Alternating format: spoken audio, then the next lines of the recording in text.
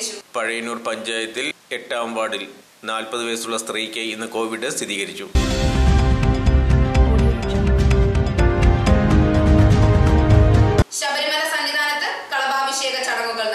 ശബരിമല സന്നിധാനത്ത് കണ്ഠര് രാജീവരുടെയും മേൽശാന്തി ജയരാജ് പൊറ്റിയുടെയും നേതൃത്വത്തിൽ ശബരീശ്വരന് കളഭാഭിഷേകം നടത്തി. ബുധനാഴ്ച പന്ത്രണ്ട് മണിക്കാണ് കലശപൂജയ്ക്ക് ശേഷമാണ് കളഭാഭിഷേകം നടന്നത്. മണ്ഡപത്തിൽ പൂജിപ്പിച്ച കളഭം തന്ത്രി കണ്ഠര് രാജീവരുടെ സാന്നിധ്യത്തിൽ മേൽശാന്തി ജയരാജ് പോറ്റി ക്ഷേത്ര പ്രദർശനത്തിന് ശേഷം ശ്രീകോവിലെത്തിച്ച് അഭിഷേകം നടത്തി.